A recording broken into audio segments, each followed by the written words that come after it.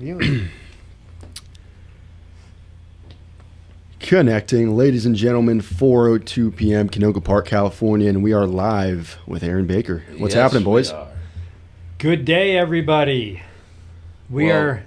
Go ahead. No, go ahead. No, go for it. we have Aaron Baker with us in studio. That's awesome. Yeah, who is Aaron Baker? We'll get into that in a few minutes. we right? will. We will. Before Kinda we interesting too how we met him.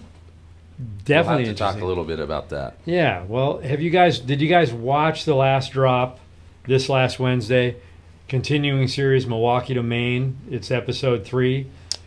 You got to check it out. I mean, we had people say to us, "You got to get to the East Coast." Right. And by the time we got through this trip, I think we did the East Coast. Yeah. We we We got to the furthest point north, which will be the, in the latest or the last video, which is Lubbock, Maine, or some people call it Lubeck. Went out to the uh, light tower out there, and we could see Nova Scotia. and that's going to be cool. in the next episode or the next uh, the one after out. that. Yeah. Yeah, I So- think two out. there's like six episodes in this series so go back and watch one two and three catch up on it i mean it's really awesome riding uh, we're not on our bikes but we're on cool bikes but cool scenery fun stuff you meet a lot of great people and that's one thing we dig you know our, our main thing that we say is we shake hands with america. And we meet a lot of great people. Everywhere we go we meet great people and, and that's part of the with meeting aaron here Yeah. we met sure. him at another thing that we were doing that we had no idea we were going to meet him and then it turned out where hey now he's in our studio. Jen made an introduction, yes. And then her father was here two weeks ago. well jen actually so said that was pretty cool, you have to meet aaron. Right? you know So one degree, no, one degree of separation from all our connections, right? right, right right So awesome. and it's interesting when we went up and met aaron and we gave him our cards we were exchanging information he said that he knew my You? son me and my son Yeah. from a place that he used to train so that was really kind of interesting that I mean, talk about a small world. right Right. And back to the video a little bit. We've had a lot of comments from from you all that are on the East Coast saying we wish we would have known and we were going through the town. But helpful hint: um, we're always on the Instagram, Instagram Live when we're traveling in the town. So pay attention to those. I know this is YouTube, but if you don't have Instagram, maybe it's worth looking at that because we will circle back and we actually met a couple different viewers while we were there. Uh, we actually rode to a viewer who was out on a construction site. He was only about a mile away, but right we said, "Hey, let's just go check it out." So if you watch that Instagram, either if it's at Xerox57, Two Lane J, Big Lance C, you'll know what we're doing. But again, we're always traveling. We're hitting the Instagram when we're out, so you'll be able to see. And then we had a lot of picture people asking about the pictures and how dated they are. So, what's your what's your basil there? um, but we were on this trip at the end of September, and, and it takes us a few weeks to get back and, and get them edited because Lance and I do a lot of the editing. Uh, Josh doesn't do. I'm just a prop. Yeah, So it's amazing. Just go check those videos out. But we're sitting with Aaron Baker, and he's got really an incredible story in it. I mean, it it captured the three of us. We're blown away. We've been talking to him, watching his his uh, documentary, seeing all the stuff that he does, and it's so inspirational and mind blowing. and maybe before we start having a discussion, do you have that little clip that you could play? Yeah, I mean, uh, and then we'll play that a few times throughout the. yeah. So it's about two minutes, but we'll uh, we'll play this little clip here, and that'll kind of cover the screen, so you guys check that out, and then we'll uh, get Because down you got to to see this guy. It's just kind of the first intro. Of, One of Oh, my cool. earliest memories is on my little it's pee wee. Uh, you guys I mean, comment like, if you can hear audio of this, I'd and now you twist can the see throttle, it. but I'd look back and I'd watch my rear tire just spin out. I mean, it was just so basically, we could just shut Liberation. up right now. Yeah, you could if you wanted to. Aaron grew up thinking he was the man of the house. I think he was about three years old when taught used to sled a motorcycle. Dad doing most of the sponsorship around here, so We learned together. This is a lead. 66. Oh, This is oh, a was start. In other words, when in doubt, gas it, and he'd Five go. days of riding. I thought I was in control. days of driving. Invincible almost.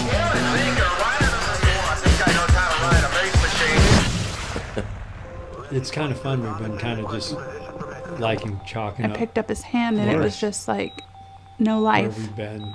In that situation, the probability of any recovery of function Is this the is almost version zero. or the? Uh, Multiple a neurosurgeons gave me a one in a million like two chance of minutes. feeding myself again. So, Come on in. The question is, can we sometimes be wrong? I remember he told me, he's like, this will not be my fate. I will beat this. Oh. Yeah. When we were discharged from the hospital, we literally had nowhere to go. they're I was the trailer right asking, now, so- where can we go? They said, You want a Laquita, there are no other places for you to go. You want a beer? Although I'd been at this for a year, I was really starting to build some momentum with recovery. When I first met Aaron, I could blow on him and he'd fall back. Do you want to? Here. No, here. You. There's, uh, there a Buddy! When someone Um, says the they're other one. relearning how I to mean, we put her walk, think in of terms of how an infant starts to walk. What do you think I'm doing? The only way out of this place is on, on my You own two wanted to get on the show. Every single step I took across that desert was every single flicker of movement Thank that you, I had Kevin. built on But this is really cool. for a long period of time. How's the trailer doing? Challenge to him as part trailer's of his life. doing. It's almost I done here. People can still hear, still hear us chatting in the background. most alive when he's on the brink of death. Aaron walking 20 couldn't plus who miles would have to equate to going. I wonder your who that is. average person It's climbing awesome. Mount Everest. Shove a new pipes.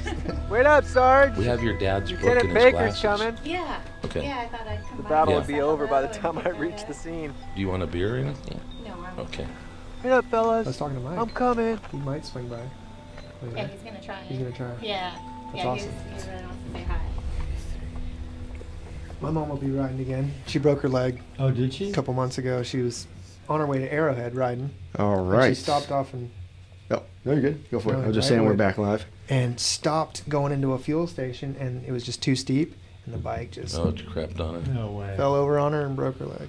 That's not good. So, No. So let's get can you into see this. Jen? Well, I can see a nice helmet and some knees. Oh, so There she is.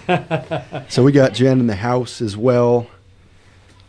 I don't know if you guys remember Jen, but uh, two Two weeks ago, two weeks ago, or maybe three, had her father in and playing guitar, just harmonica. going for it. That was a great show as well. I think that one went like two hours. Yeah, what a great time that yeah, we got was. to talking on that one, didn't we? Yeah, that was fun.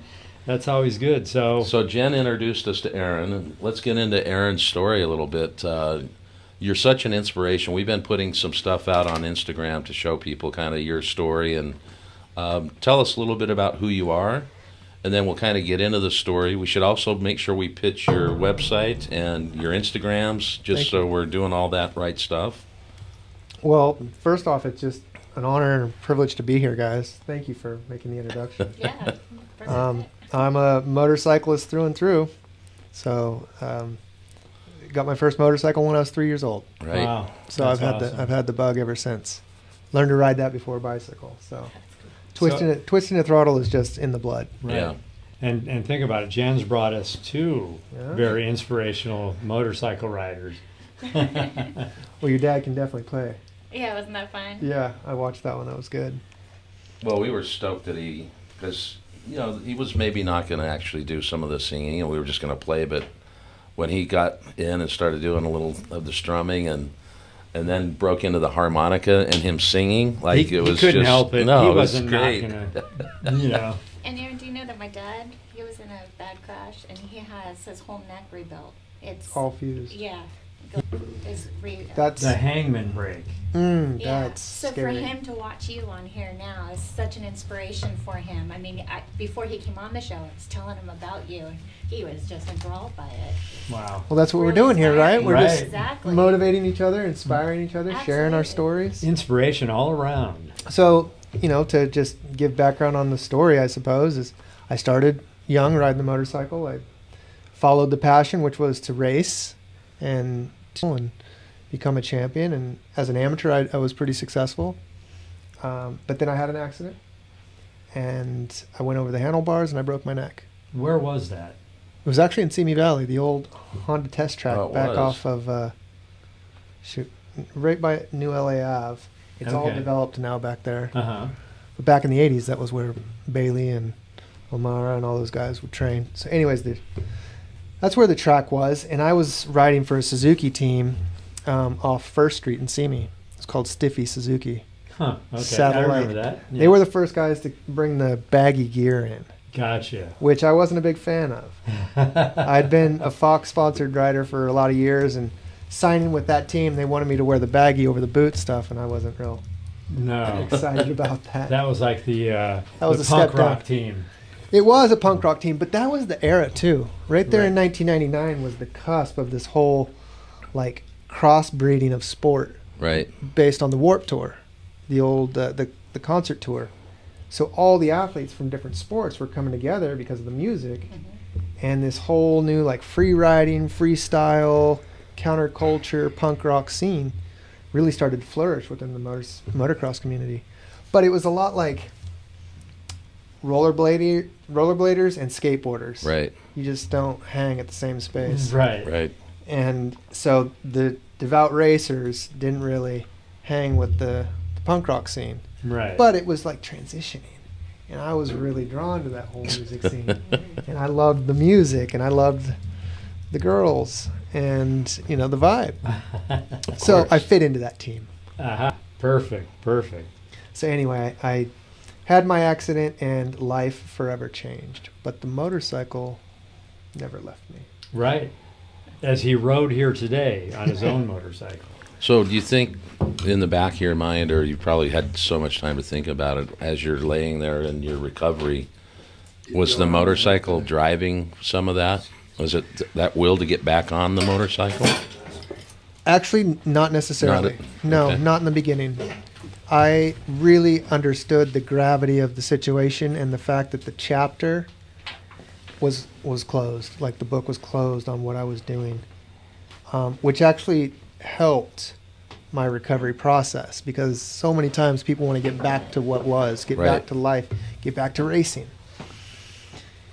I just knew that, man, I was really in a really um, transformative state. There was no way I was just going to rebound out of that. And to cling to that desire Yeah. was um, just too too painful. May have been way too. painful. It would have yeah. held me back. How old were you when that happened? 20 years old. 20 years old. So I was a baby, you know. I was full of piss and vinegar, like a young, ambitious male, independent, so I thought, and uh, thought I had everything in control. I've looked at some of your stuff, and you've got this kind of like mind, body, and you know Lifestyle. your lifestyle that you've kind of grasped. When did that start? That's an evolution. Yeah. I mean, this is 22 years later, and I've really been a student of my suffering. Right. I've listened and learned my body and applied my mind in ways that have allowed me to do things with this injury that the doctors definitely said wasn't going to be possible. Right. And I, I um, argue against that kind of, I'd say, prognosis. You know, for a healthcare professional to plant a seed of hopelessness in I the beginning agree a Yeah. and say this is what you won't do, and statistically you are one in a million or one in whatever. It's so, oh, man, defeating. Yeah. Yeah, they, would- it's like they give up right away. Right away, then there's no hope. Right. And so for that that person in the throes of that, what do you do with that kind of information? It is not helpful at all. so what I actually prefer a doctor to tell me is the facts.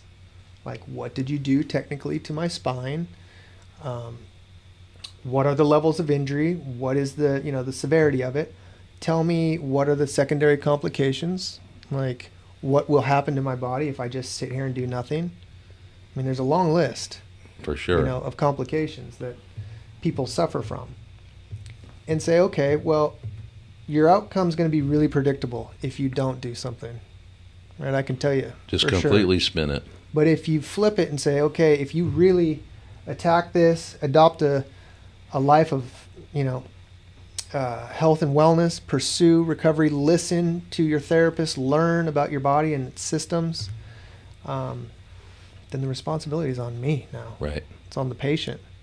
And then, you know, then he can say, well, I don't know what your outcome's going to be. There are a lot of great stories out there being shared now mm-hmm. compared to 20 years ago when I was injured. Right.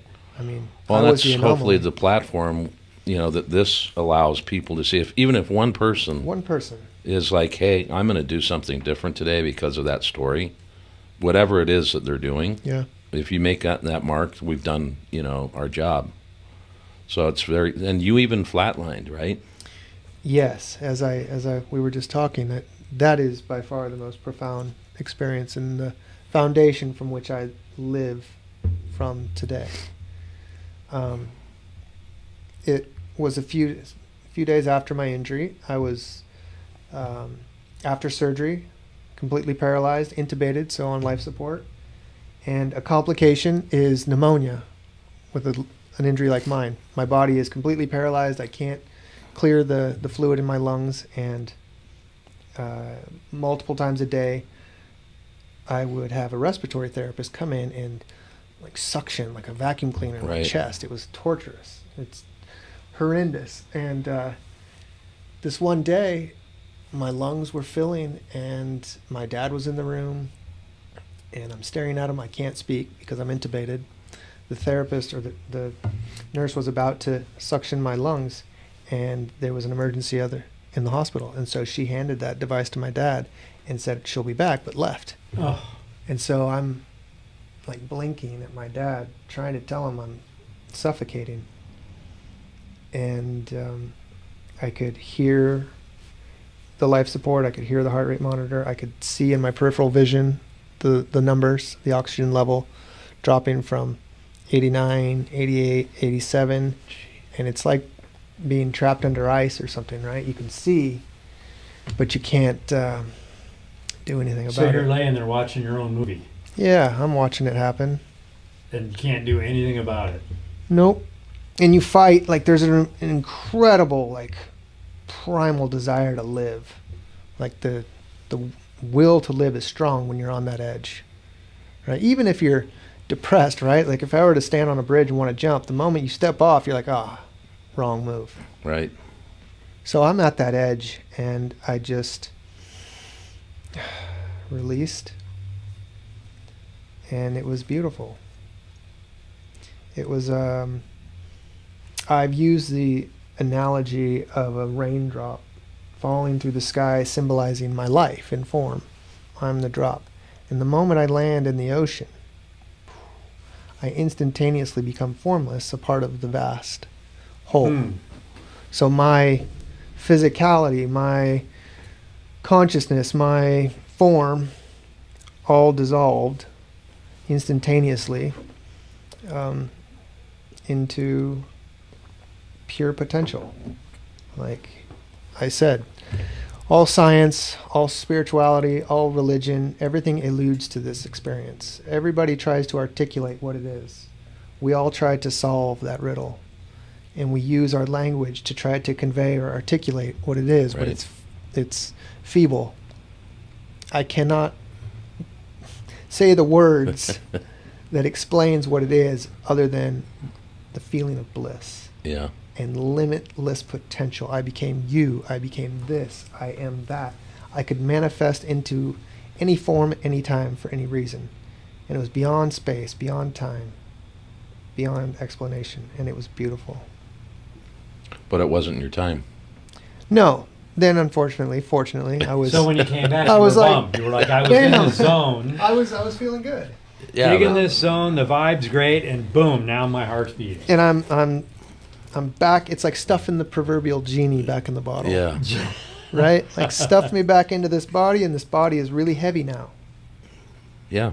It's really heavy. It, I wear concrete boots when I walk, when I move. Well, you were saying earlier, sometimes you're not firing at the same time. Sometimes Man. you've got a stiff muscle. Your back's, it just. Yeah, it's a real it's a conscious constant. process. Conscious process. Yeah. When I when I move, it's because I'm thinking about it, right? And that's a that's a challenge.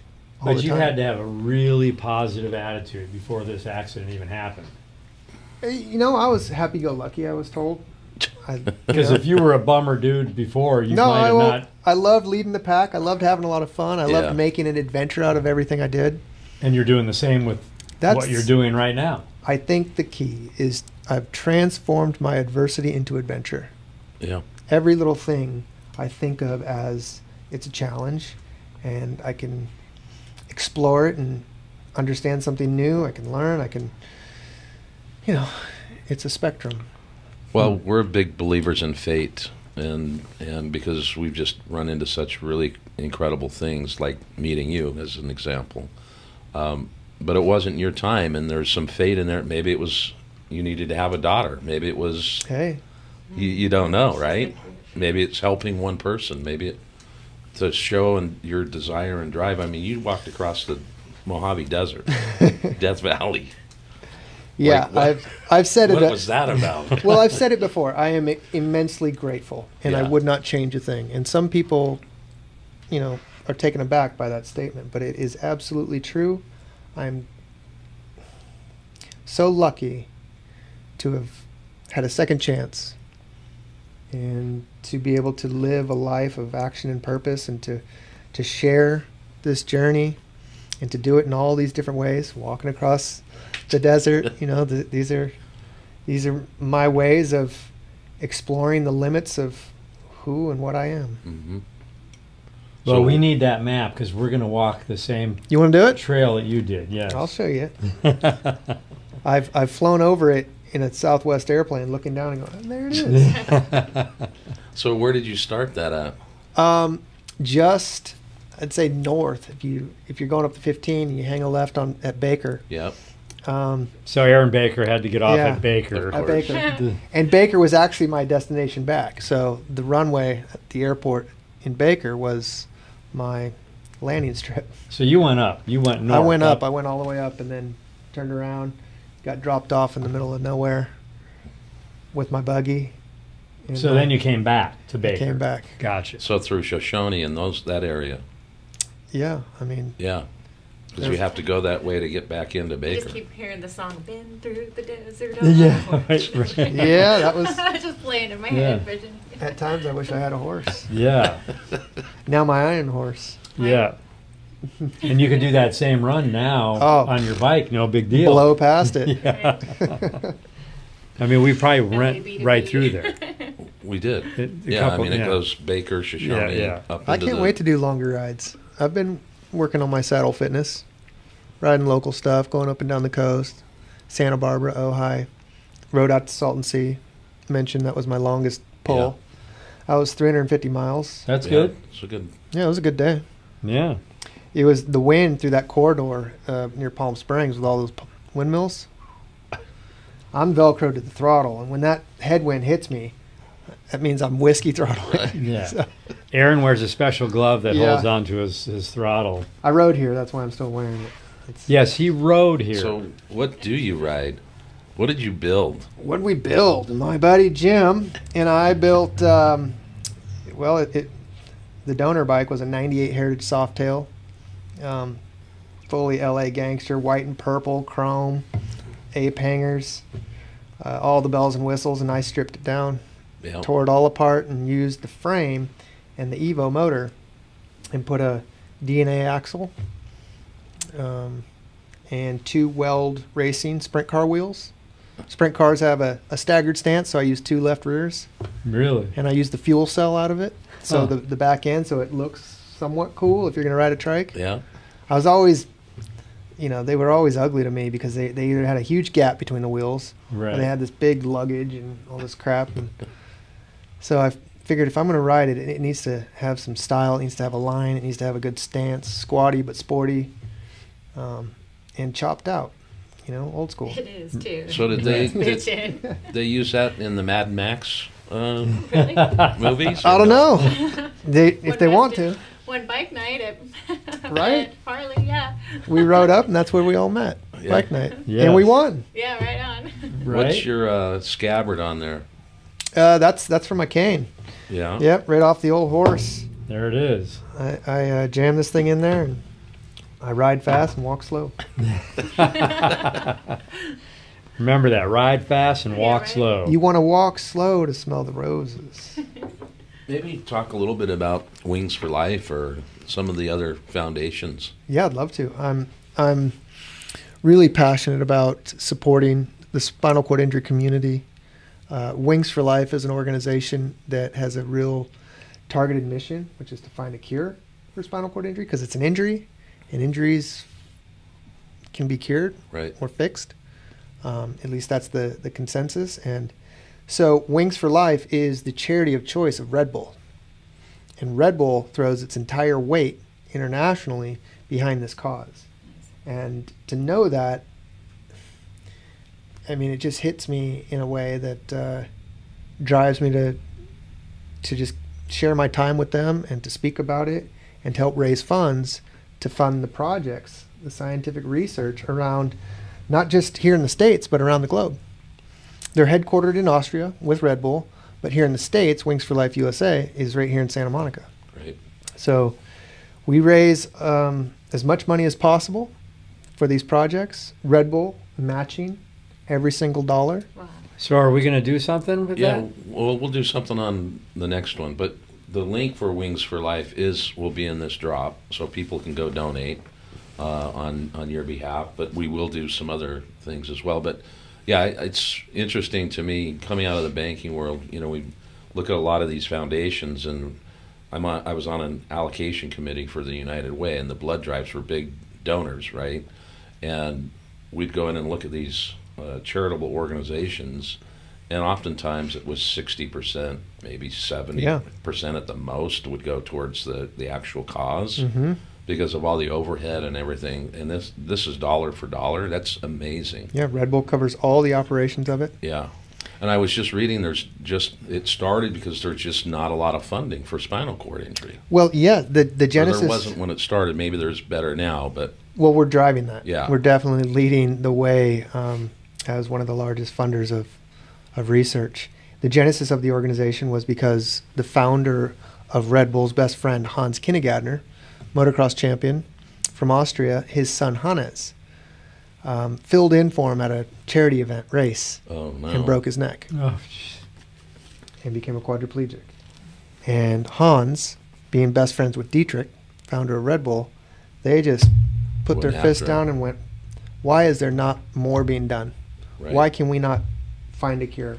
And so that's where, you know, the seed was planted. That's where Red Bull said, "We're going to form this organization and stand behind you and vow to find a cure." right. And that was 2004, and I've been a part, you know, not long after. You're on their board. I'm on their board of directors for the. U- So you have to have a big belief to be in the board as well.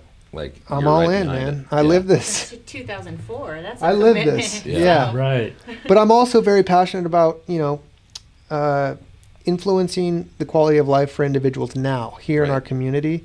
What can we do to expedite recovery?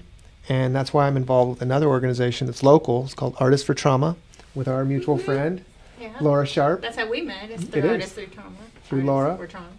And so I'm on the board there with, with Laura as well, um, in more of a leadership role now. And I'm thrilled to be able to use that platform to help folks that are in hospital or just getting out of hospital express themselves through artistic mediums, Mhm. right? Because a lot of times, like we were talking about, the psychological aspect of healing from trauma.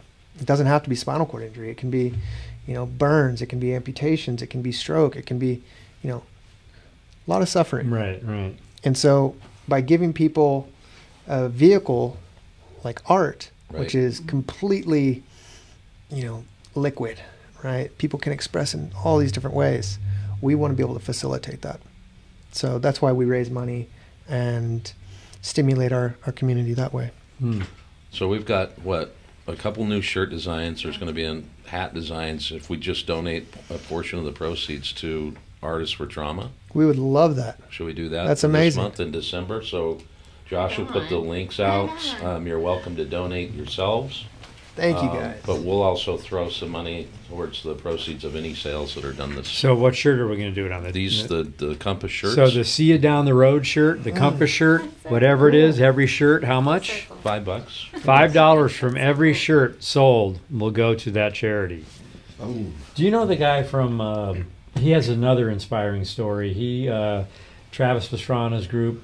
Yeah, uh, Phil Smash. Smash? Yes, Smash. yes. God, his recovery. I've been following his He's stuff crazy. because he was like doing push-ups and he was like he, his attitude's like yours. Yeah, he was incredibly inspiring. I watched his entire recovery. Right. And it was so cool to see how open he was. He shared all the dirty Everything. details. Yeah. Everything. And he really did come back from a severe injury. And He- today you would never know.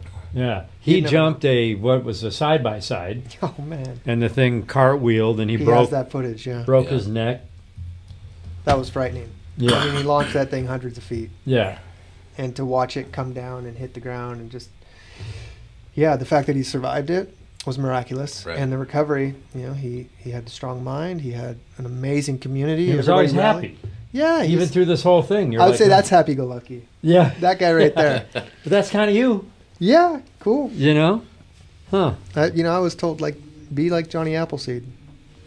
You know, just travel around, plant little seeds of hope, Why inspiration, That's the way to do it. and then water. That's what our viewers do for us. I mean, we thought we- we, were going to inspire them, but they tell us all the time how great things are, and That's they how bought it their works. first bike, or they went on a trial. Their father and son got together finally, and it just all these amazing stories. I was telling you about the MS story as well earlier. So- it's just heart wrenching for us. I mean, our whole thing was we're here to inspire people to get out on the open road and ride, but we've gotten so much inspiration from people that love it that we're inspired. I mean, hell, we're trying to steal her dad's song. Cool. We might just put that in one of the uh, videos of this series. We'll see. Yeah. Um, Yeah, hey, we man, need to bring talk that to mic him over. about that. It's just crazy hearing what you've gone through. And I said here, you know, I've had two back surgeries mm. myself. I've had my spine fused together two mm. times, and it's like I have my my daily complaints and everything. And I sit here and look at you, and it's just like puts things into perspective. Like like just get off my ass. And there's so much more to do and accomplish. You know, Right. like what what people are doing. The other guy you were talking about. What he's overcome Right. just puts everything into perspective of what you are capable of and what your body is capable of and how much your mind plays The mind is a- huge. That is and very- heart though you have to have the heart to do Right. it the fight to do it i mean you have a lot of fight in you you know people that's that's a quality not everybody has too it's just that will to want more Right. It's interesting. It it it is a harmonious combination of heart and mind. Y- You have to balance those two. The heart has to drive it. The mind has to, you know, activate and to to stimulate that in dark times is the challenge. Mhm. And our suffering is relative. I mean, you go through what you go through, and it's, you know, it, it cannot be diminished. You have to feel it, live it, acknowledge, and then make a choice. And we all do. Yes. But we get to. Right. I think that's the change, right? It's not we have to, we get to. Right. So is that where your mind, body, and then you create this lifestyle that you? Yeah, I mean, if when your word, when your thoughts, your words, and your actions all like become harmonious, Yep. when they all align, then you're like living at your highest, I'd say, version of yourself. And that's if you can perpetuate that in your lifestyle, if you can set your life up in a way that that cultivates more of that, there's more synergy between the things you do, the things you think about, the things you talk about, the people that you engage. When you can align all those things, Yeah. then I'm talking about lifestyle quality, right? Like now you're you're not wasting your time. Right. So motorcycles have been in your life since you were three or four years old. Three years old, man. and they they're so powerful that everything that you've been through, the quest for the bike is still there. It evolved, yes. I didn't seek it. It just It happened. there was something in the back of me that um, knew that if you know the timing and all the pieces came together, uh, that I would do it. I wouldn't be scared, Yeah. although there was fear. Um, I would calculate it.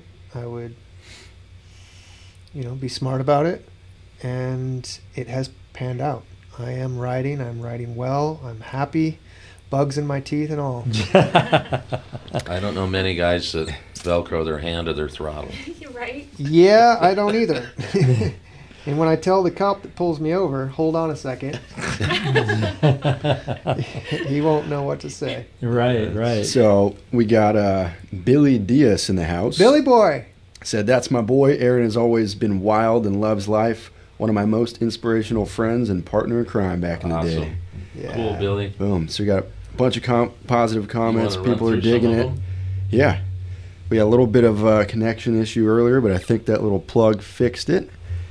Let's see here. Let's start from the top. Get everyone saying hello. Rhode Island Redneck in the house. Daryl Oaks, Riding with Shags, Military Bikers, Setzer, all the regulars. Um, see if we have any questions for everyone. Let's see. Uh, everyone's just digging it. Kevin Kent, this gentleman is amazing, so inspiring, makes you realize that life isn't so bad after all. Her notebook and sunglasses. Do you want those? We'll see you soon. Go that way. Let's go get breakfast or lunch at the old place. Bye, guys. See ya. Do we have any uh, questions for Aaron for all those watching right now?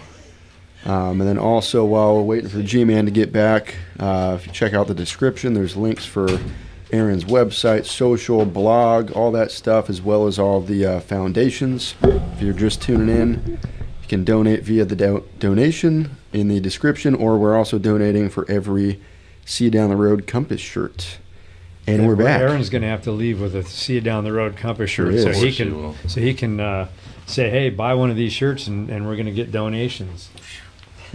I'll wear it with pride. Yes. Hey, so what is Aaron's uh, ins- Instagram and his website? Is it I am Yeah, the letter I, the letter M, just no apostrophe. AaronBaker.com. AaronBaker.com. And Instagram, Twitter, FaceSpace. Yeah.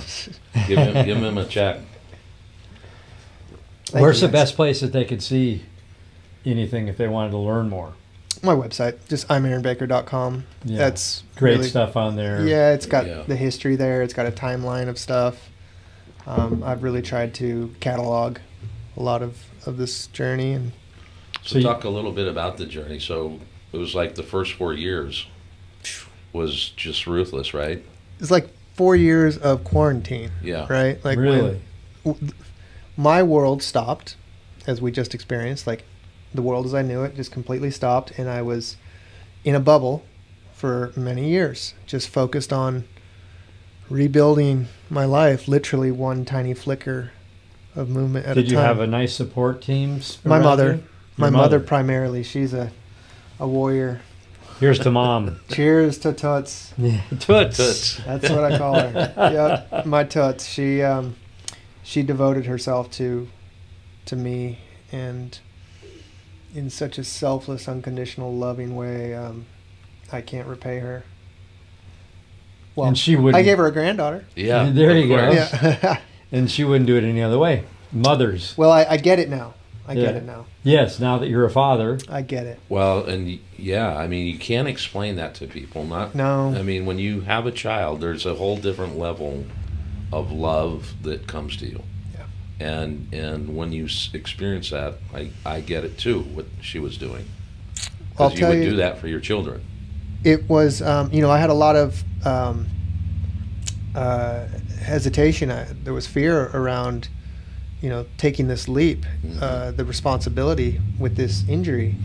You know I, I've said before I'm a big baby, right? Like it takes a lot of time and energy and resources and uh, just to deal with my condition. Right. And so for me to then you know uh, bring another life into this world, I didn't want to um, be res- irresponsible with that. Um, but that fear was instantly evaporated the moment I held her. She looked at me and looked right through me. Like the injury was irrelevant. It didn't matter. The thing that monopolized my life for so many years mattered no more. Now I'm a father. A primal instinct was activated. Like cellularly, I was turned on. Like, this is what I'm meant to do. I'm made to do this. Uh, the paternal Yeah. instinct is like on. But now she's one and she's running from you, Dude. so you better figure out Well, some yeah. stuff too. I got to protect. I got to provide. I got to guide. Like, So here's the you're you're in the hospital and the doctors are like, you won't even be able to feed yourself. Yep. This is that negative stuff that they always give you. You're Now I'm be able to feeding feed her. now you're feeding her. That's the the It's amazing. That's full circle, right? Yes. Like that's that's life, the full spectrum of life, and man, I love it. you were able to hold her. Now you're feeding her. You're changing her diaper. You're probably doing everything that you probably thought you never would do. It was furthest thing from my awareness at that time. I mean, at 20, shoot. Yeah. But yeah, so getting back to you know those first handful of years was just really focused, laser, laser focused. I said in that process, shoot, if I was this focused and dedicated in my training and racing, who knows where I would have gone. So it was that. four, five, and six, right? Yep, right in the middle. There's well, this scar is the the uh, the surgery, and this kind of faint one right here was from my long ride two weeks ago. What? yeah, the my I have Oh. a half well my half shell. I just put some moleskin on it because the dang strap.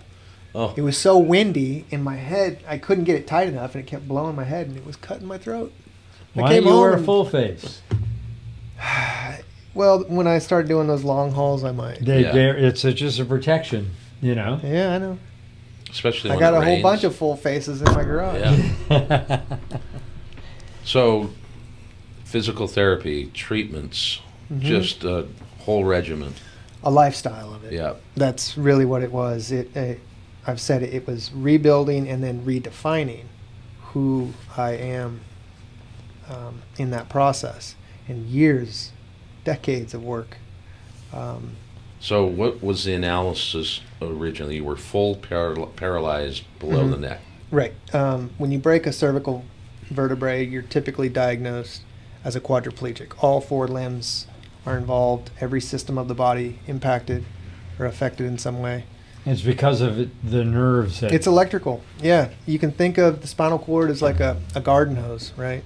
And it's just flowing with signals to and from the brain and body.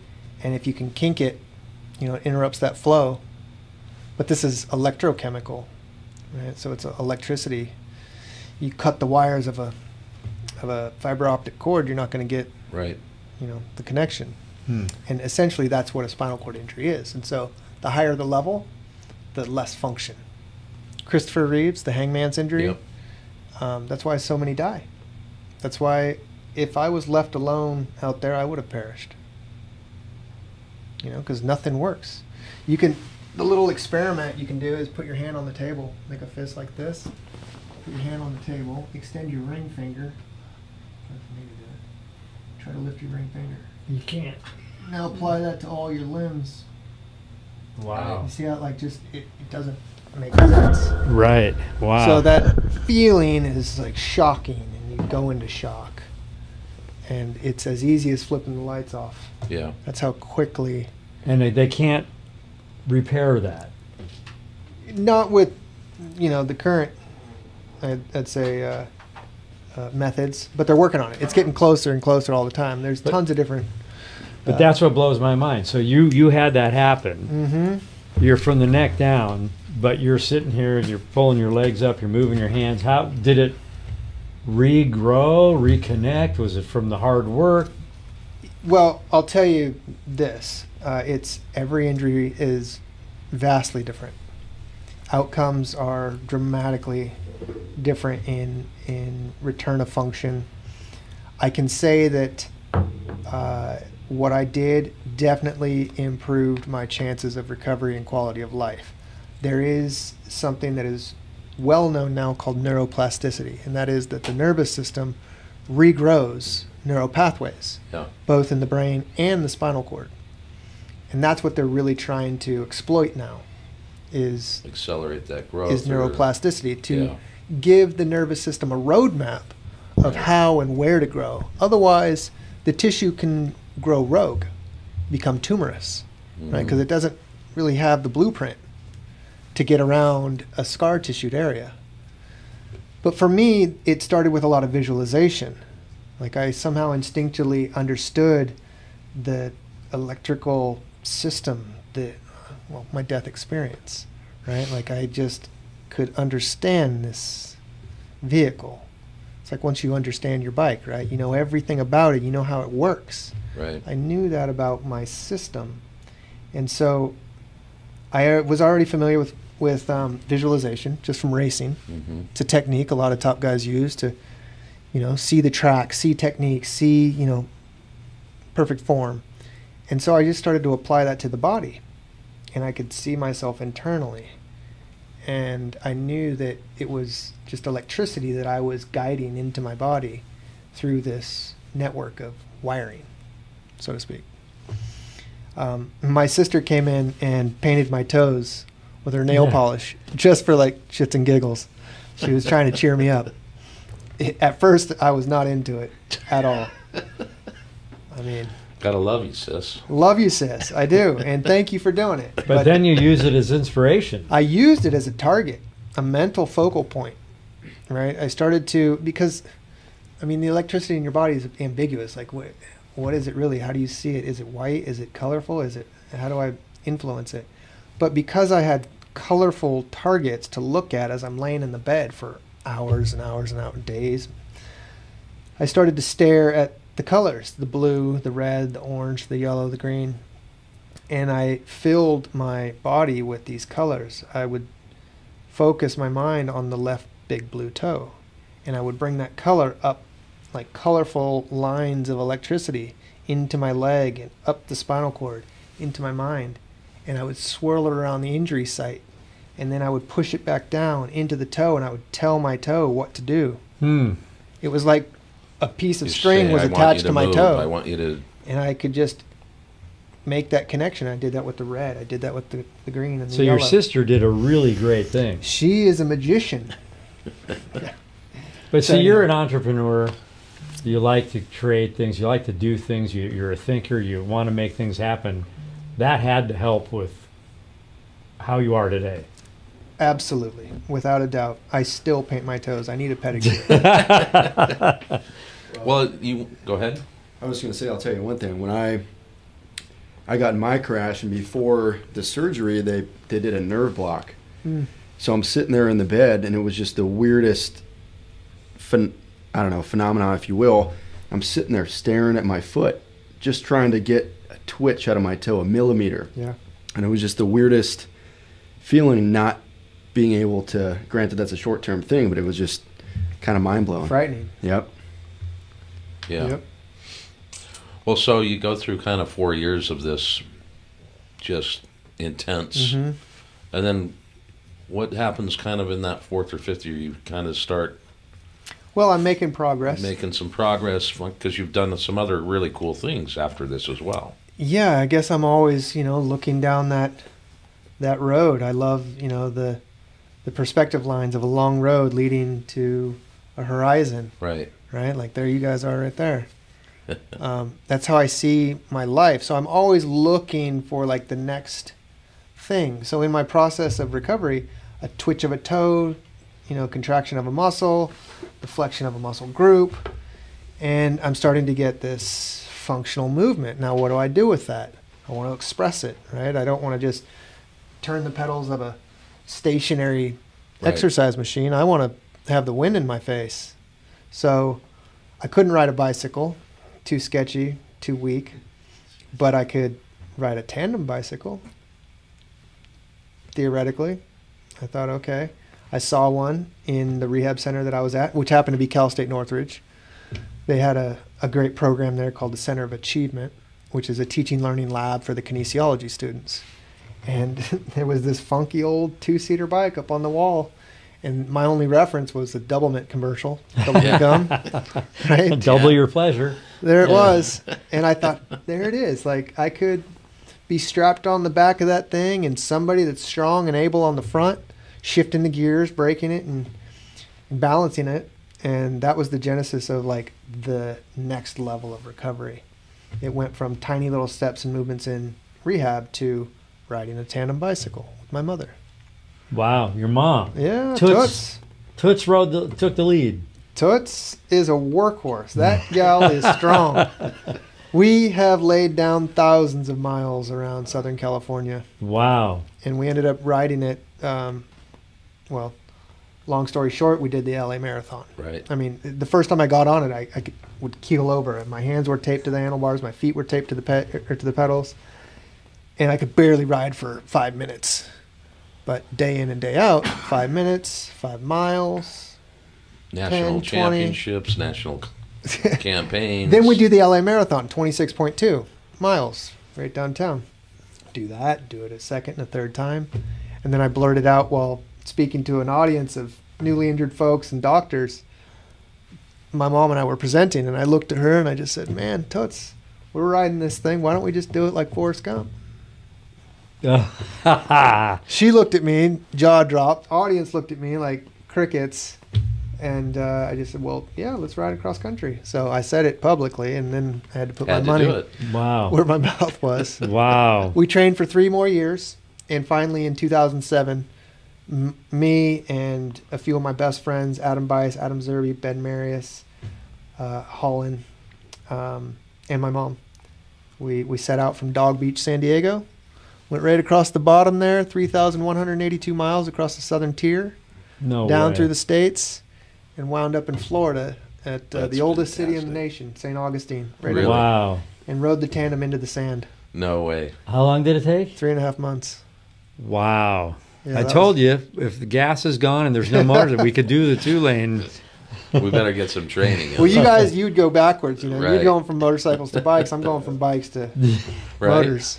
I mean, I saw you on a, a like a 10 speed or ra- Mhm. road bike trike. Well, that's the evolution, right? I'm still looking down the road. I'm Right. really tired of sitting behind a sweaty derriere. Toots. You know, toots and friends. You know, Yeah. uh, being a racer, being a rider, uh, not having control is. Right. I'm just a passenger back there. Right. Um, Wind in the face, but buffered. yeah. Right. But that's okay because it was gives no, you it another was. goal. Oh, I had tremendous um, uh, pleasure, pain, um, but you know, overall, I was so happy to be out there Right. Right. riding. It um, every single mile, every single pedal stroke counted. Yeah. Right. It that's the whole point. Like every single flicker, the things that I've done, they've all stacked up to mean something. It's gotten me a step further to something I want or aspire to. Right. And so every mile was a mile closer to, in that case, the East Coast, and to my independence, Right. which was this three wheeled bike. Right. Um, And the suit and the whole thing. oh, the, the lycra, the shaved legs, the tan lines. Right. Oh, yeah. Saw that aerodynamic se- helmet too. I Yeah. was Yeah, uh, sweet. severely um, cycle. Um, I was committed. So do you ride a bike now? A bicycle? It's on the wall in the garage. It sits uh, next to the Harley. Gotcha. But that's the evolution again. It's the Right. evolution. I'm, I'm still moving forward. I, I ride that thing periodically. I, it's been a while, but um, you know, I took it as far as I could go. That was my goal with that tricycle, was to ride it. Again, I did it across the country. The following year in Wow. 2008, um, there was only two other bikes like it in the country. It's kind of a big thing in like Belgium Mhm. and Europe. These tricycles, tricycles actually were the um, the uh, I don't know like the, the standard or the elite way of cycling back hundred years ago. Hmm. Three wheels was uh, better than two. but anyhow, um, so I built this trike with the help of a, a guy from Europe, and I rode from San Francisco, four thousand two hundred and two miles to Jeez. DC. Wow. But I I segued. Was that the Lincoln Highway? No, it was the Transamerica Trail. Okay. Uh, started right at the Golden Gate, went over the loneliest road in America, Highway 50. Yeah, yeah, we've done oh that. man, that's 350 or 400 miles Yeah. of nothing. Yeah. And you, you hit 15 from there, go down to Cedar City, and then cut through Escalante and down. Beautiful so you went stuff. 80 and then That's- down to down the 15. We 50. Went 50 50, to- 50 over, and then just carried 50 from uh, Carson City. oh, you went through. Yeah. You had to have cars whipped by you. Yeah, but we had the rig too. I had a motorhome. That was the way I did it. Was a Right. similar to my racing days. Yeah. So You know, I had sponsorship support. So Right. you've been on a lot of the roads that we actually ride and do our, our Yeah. vlogging on. So when you're out there, you're on a bike. It's either hot, or it might you might see a rainstorm coming. You go I through mean, it you're all dealing all with all that, at about 15 miles an hour, and the worst is the wind. and you're powering through it. The Oh, headwind man on a bicycle, I can cuss and spit, and it is just pure suffering. right. But I did segue. I was in uh, Estes Park uh, the highest paved road in America. Yeah, we did that too. We came down off of that and gave a presentation right outside of Denver. And somebody in the audience told me that Sturgis was going on, Oh no way. or Sturgis was about to go on. Yeah. I said, "Man, that's good timing." so we we segued up to Sturgis and we Wow. rode the the bikes. My mom and me. Toots was on her own bike now, Wow. so she was riding alongside me, and we had skulls on our on our riding kits, and we went right down Main Street, right next to the old, you know, leather and iron. Yeah. So if any of you want to go to Sturgis and you keep making excuses even with your motorcycle, find a way to get there. You know. Yeah, I pedaled it. So, and then we went right up Rushmore. You know that that road all the way up to Rushmore, lined with bikes. We had dudes hollering and high fiving, and Really?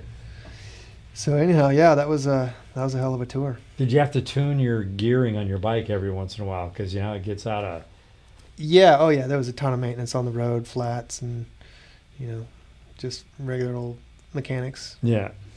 There's a lot of miles. So, and then you did some downhill stuff Yeah, keep going, right? in the mountains, or what was that all about? Well, the evolution, just to keep the timeline going, Yeah. we finished with the tour, and I had the fortunate opportunity to to work with the United States Paralympic team, hmm which is not the Special Olympics; it's the Paralympics, which coincides with the Olympics. Right. So these are all like heavy hitting athletes. Right. A few years before, I had actually taken a little trip down to the Olympic Training Center in Chula Vista, just as a tourist. Get on the golf cart and check the campus, watch these athletes play, hmm with the dream of maybe I could become a Paralympic athlete.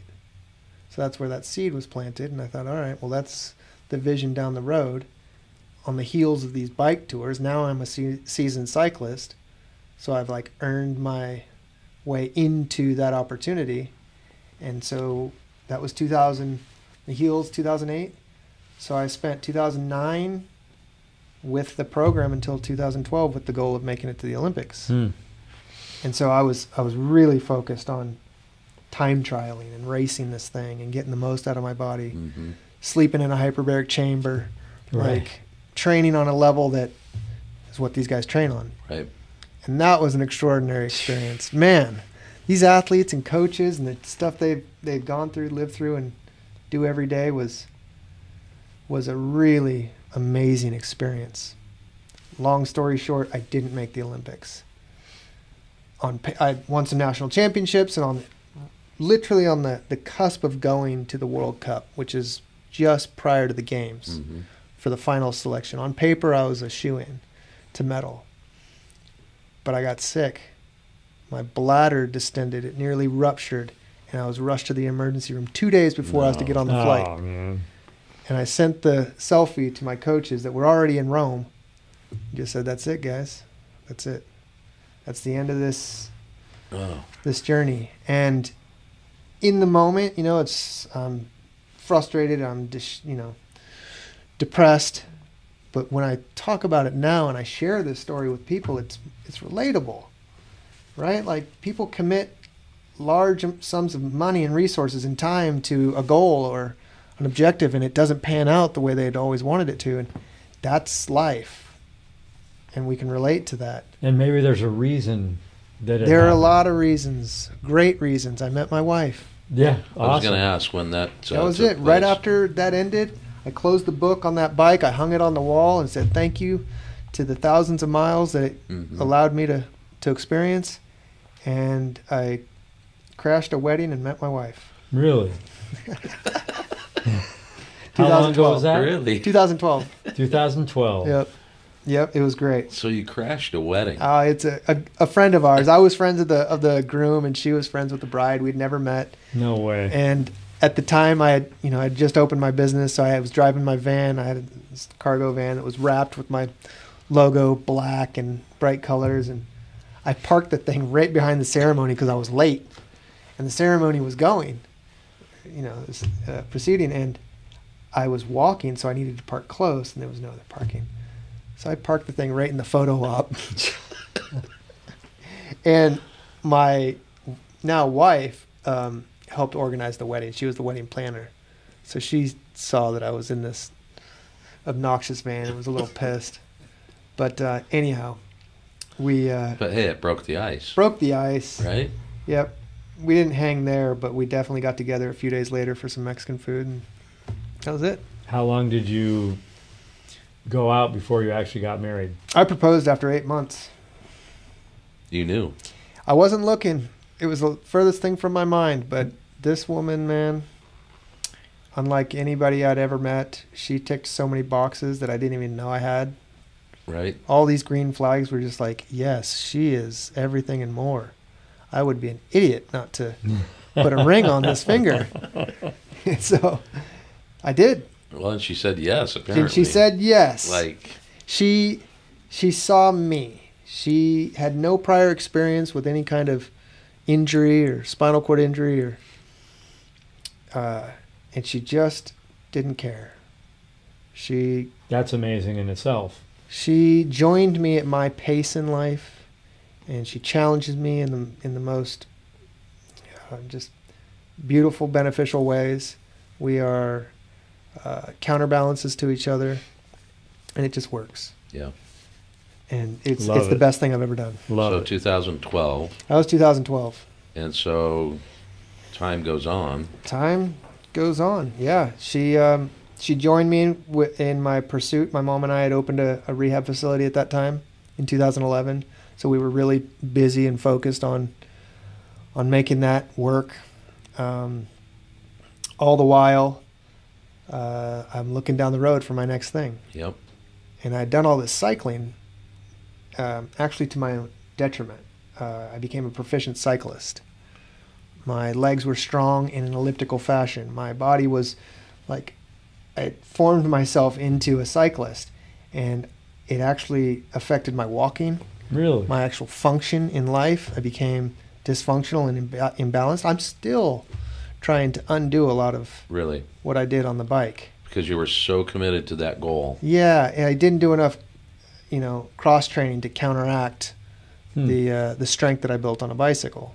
For the average person, you can still function off the bike, but for me, I have so much asymmetry and so much imbalance that my quads got really big and my calves got big, but the weak links in my body were neglected, and so I was just kind of a mess. So I thought, what can I do that would really help me physically and explore the limits of my mind? hmm and I was pushing a shopping cart in the grocery store one day with Katie, and I walked outside with a full cart. It was heavy, but it was windy, really windy. And usually the wind is, you know, my Achilles heel. I'll blow over like a leaf Right. without holding on to something. But I was really stable holding this cart. I'm like, man, I could do this. The car's right there, but what if I just kept going? And then past that, if I went, and I just had this vision in my mind of those sailing stones Mhm. that you've seen Yep. Right. those those isolated rocks out in the middle of nowhere Yeah. with a snail trail behind it. I thought, well, that's my pace. If that rock can do it, I can do it. And that's Death Valley. And that's Death Valley. I thought, all right, that's where I'm going. so anyhow, And there was uh, there was one of those in the documentary. Yeah. oh yeah, Was that uh, maybe I won't ask trade secrets, but was that already there? oh no, Oh no. nope. There were a few. But I took one of them home with me. Yeah. I've got him. that is one thing I noticed though, and that's pretty cool uh, comparison. Yeah, I um I had some some moments with those stones. One in particular that you know, there was a when I was first injured, I laid on the ground, they were paralyzed, right? Initially. And my hand was in front of my face. And I'm staring at my hand and there's a stone right next to me. And the recognition that there was no difference between my body and that rock if I was left undisturbed, I would remain. And so Hmm. in the desert, Right. I recognize that again. And um, you know, it's just profound moments of of gratitude and awareness, right? Like shit, we're lucky. Yeah. Yeah. And when you ride, you get to think. I mean, I know when we, we talk about when we're on long trips, the mind just, it's really healthy because you, Yeah. you go places that you don't normally go because you don't have the time to go there. Yep. But on a bike, you have the time to go there. truly. I, I value the bike in that way uh, tremendously. So, so anyhow, so I found my way out to the desert. Got myself a baby jogging stroller because I knew I needed a shopping cart esque type Right. device. So I a could shopping carry. cart would have been cool. That would have been a lot harder to push, that's Yeah. for sure. But this thing had knobby tires, it had suspension, it had brakes, it had, you know, I cut all the baby stuff out of it and put a solar panel and carried all my own gear, my Wow. sleeping cot and food. Ate some special food called pemmican, which is uh, an American Indian type food that the settlers used to have out on the plains where it's just like buffalo or, or beef with uh, dried out, And yeah. dried out and then uh, finely chopped. You add tallow or rendered fat back to it, and you you put in you know uh, goji berries and spirulina and bee pollen and some other superfood type stuff. You make a sticky little ball out of that thing. Mhm. That was the best food I've ever eaten. Really? It was Really? pure race gas. Wow. Yeah, I lived on that. Interesting. So You how long did that water. take you? It took me a week. Okay. Yeah, a little over And it 20 was miles. 20, yeah. And uh, yeah, just self sufficient. My a friend of mine came out there, and I, I knew I couldn't do it alone. That'd be silly and dangerous. Right. I needed to have a plan B. Right, right. I deal with too many issues, um, and the heat. and What blood- time of year did you do it? That's I did it October, so it was hot. yeah. Yeah. it was a great time. It was hot in the day, but the night times cooled down quick. Yeah. Um, but again, there's no reprieve. There's no shade. Right. You're just at the mercy of. Right. Well, you had your bandana with the I hat had, on. yeah. I had an umbrella. Yeah. Anyhow, it was uh, an amazing experience. So from pushing a, a shopping cart, is that crazy that you think about that now? Is it? And that's what gave you the desire and drive to do that. My friend told me, or he says it actually in the documentary film. My friend Adam Bias, he, you know, referencing, I guess the way I think. If I can do something, if I can take one step, right, the amount of effort it takes me to do one step, why wouldn't I just do it, you know, Continuous. across the country Yeah. or continuously? Like it's just hard to begin with. So at least have fun with it. At least like Right. explore or do something. So that I guess that's my mindset. So could- yeah, you've done more in those couple stories than I know people have done their whole life. Seriously. And not with injury. Well, I mean, you know, people we were talking about it earlier. These devices. I mean, people.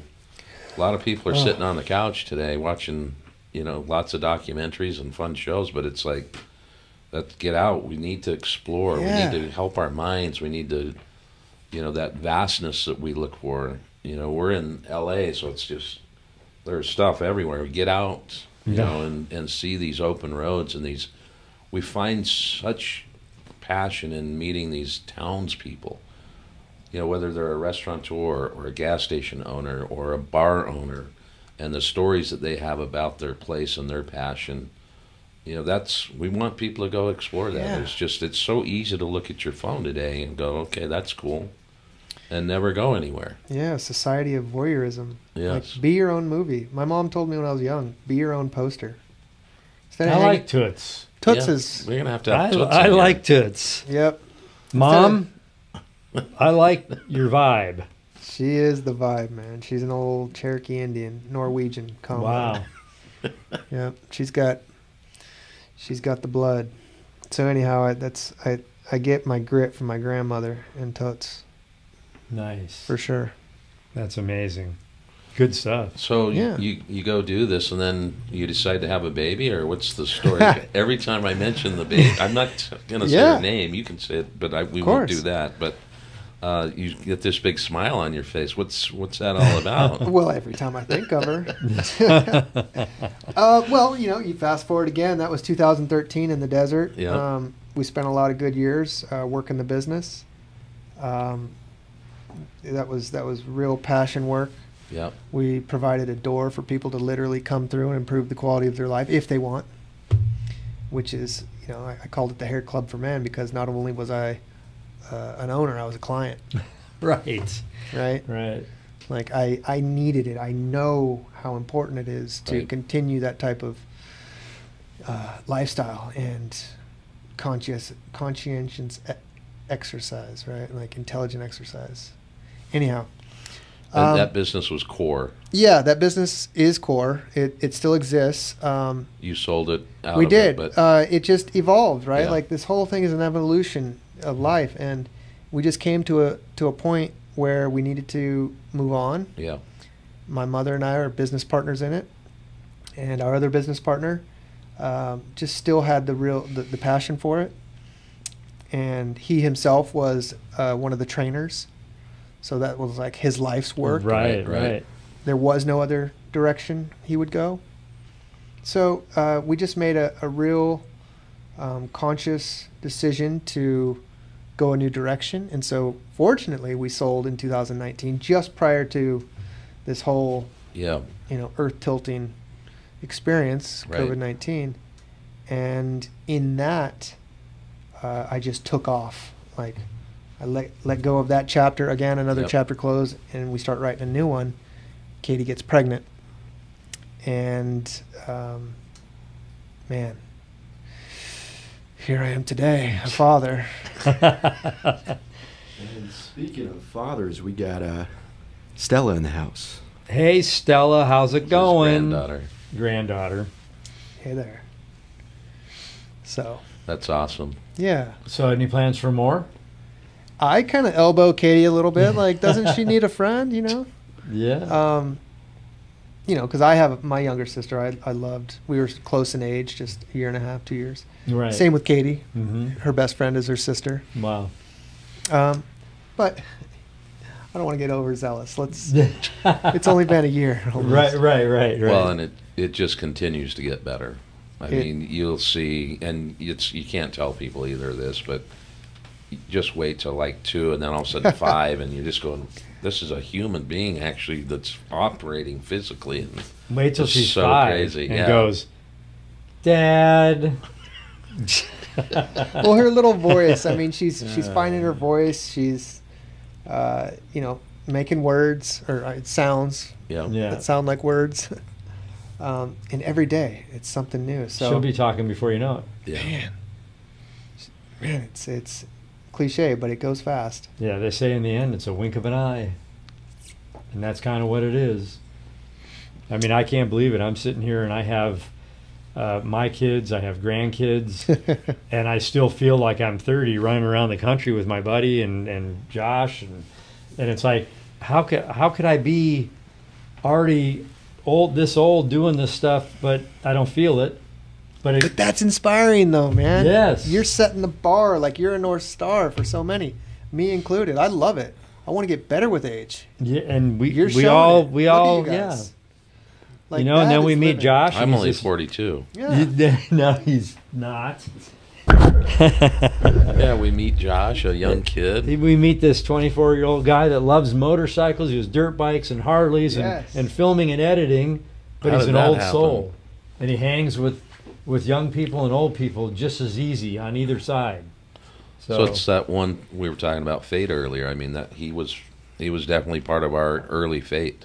yeah. Like we we he edits all this stuff. We started off with four or five layers. He's now up to like ten layers where he's got sound and some other cool things. Yeah.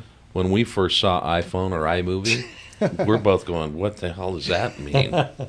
You know, we've known each other for 30 years. Oh, that's cool. Our Yeah. wives worked together 36 years ago, Wow. 38 years ago, whatever.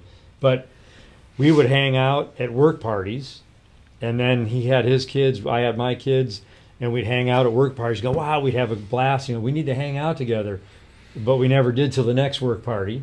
Kids got a little older. We were at a like almost like a final reunion work party, and it was like, oh, I got a Harley. Oh, really? I got a Harley too. And that, that's where it all started. I was Wow. scrolling through pictures earlier. I'll show you after we're done, but Yeah. I'll show you the first bike I started on. Nice. It's it's a little Strider that my dad made out of conduit and brazed it and added some old wheels and it's Schwinn handlebar grips and See, it was awesome. So his dad made the first rider. yeah, 30 years ago, or 40 years ago, whatever it was, yeah, 50, years ago. plus. Yeah. and now look at him. Yeah, Right. Jeez. Now, my grandson, who's two, has a specialized push bike, but it's carbon fiber, and it's like it's like you pick it up and he just rips and does little jumps. Does and some dirt. wheelies. Yeah. Yeah, it's amazing. Yeah, and the level that these guys are evolving sport to. Oh, ah. You know, motocross and, Yeah. and BMX and gnarly. my little buddy uh, Caden, he's uh, my best friend's son. He's prolific on, on YouTube. This kid's a phenom, but I think he's like nine years old now, nine or ten maybe. But he's double backflips and No tail way. whips and like he wants to be the youngest X Games Sounds like he's superstar. He's gnarly, Gee. but he's so young and he's been doing it. I mean, I watched him in his diaper push his first little strider, and Wow. these guys are elevating the sport. Human performances. is Yeah, my son has a mountain bike and he has a seat on front of it where his son and they do jumps. yeah. And it's like now this little guy, his adrenaline, he can't just. He's always got a motorcycle in his hand or a truck mm-hmm. or. So I'm like, you created the same thing that I lived with him racing his Well, whole life. When Look you what introduce Pastrana's that, done with the Yeah. Nitro Circus and all this. I mean, it's Yeah. just it's crazy. when you introduce it so young, I mean, that's that seed, right? Right. Like, it's hard to. I always struggle with that when I was a boy, and my mom always tried to get me away from the motorcycle. But since I rode that at such a young age, there was nothing that compared to it. no, Yeah, the, I guess you get these these endorphins or this energy. Well, you get the smell, the sound, the control, right? Like power. the throttle Yeah. gives you a power. It's a superpower. Yes. And so it didn't matter what she, inter- I mean, music, bicycles, skateboards, snowboards, surfing. right. She tried to relocate us to Indonesia when my sister and me were eight and six years old. Like, but nothing compared to that motorcycle. Right. Right. So you got to be careful. If you're going to introduce that at a young age, you better know that that's going to be in that. Well, It ain't person. going away. well, my son got on at four Yep. on a PW50. Started racing. We did the same like Ponca City. All the, yep. the whole thing and and and he was at races with Pastrana. Uh, he was at freestyle events with Pastrana. He did his thing. He changed from at 15 he got into freestyle. Yeah. And then we did the X Games tour and the Red Bull X Fighters and he got a gold medal and a bronze medal and then he retired and I was happy he retired. But You then know- I got him into Harleys. Well, but we were talking about that earlier. I have a lot of admiration for the guys that are at that level Yep. that can know when to fold it and just say it's been a good run. Right. Thank you, motorcycle. Thank you, what I learned, the travel, the exp- experience, and then go on to something else. Right. Like that takes a lot to do that. it's that entrepreneurial adventure. It's that hyper focus too. Like Yeah. it's finding that next what what's going to take me to the next level. Yeah, but I mean, it's the motorcycling is a passion, right? So to lay that down in that form is, No, is for what I sure. really He has- respect. He has a successful business he built now. It's several years old. It's Thrashin Supply. That's Good his- on him. But he's energy. doing that. But he'll say, I love this business and I love my company. But he goes, I'm already thinking of what my next company and what my next thing's going to be. Good on him. So he's doing what you're saying. Yeah. Like, lay it down and go to the next. You But I know. thi- I, we were talking about this the other night with, at my house. You know, I played college football and that, and we were watching games, and my son was like, "Do you miss that?" And it's, it took probably five or six years for me to finally just let it go Yeah. after I after I finished my little run at it, and it's just it's something that's inbred in you, and it's like it's such a fo- and that's where all your energy and focus and you know where did that how do you reapply that and so we, i had to do that in more of a career type of thing you Right. know and i finally grasped the, what was going on but it even today i look at it and just go man i wish i maybe i should have played another year. I I've just- got one Well, yeah. I just want to hit one more guy. because I, I really enjoyed it. But but I did- I what stopped it for me was it became more of a job and less of a passion. Mhm. And so I was like, that's it. It- It's over. I remember Jeremy McGrath told me that once when I was still really young, racing uh, at San Jose Stadium in '92. He, I met him for the first time, and he, he took me aside. He says, "The moment this stops being fun for you, hang it up. Yeah. It has to be fun. If it's not, it's not worth it. Right. Right. And I remember him telling me that, and uh, there were times before my injury when it wasn't fun. Right. Right, we're grinding a lot of laps, burning a lot of fuel through a tiny little carburetor. Training, training, work, Training. pressure to win. Not like it is today. It's more Yeah. these days. I mean, you got training farms Right. producing these phenoms, but even still, there were times when I was going, man, I heard Jeremy's words going, it's not, it's Yeah. not fun. Right. No. And um, it wasn't long after that that I, I had my injury.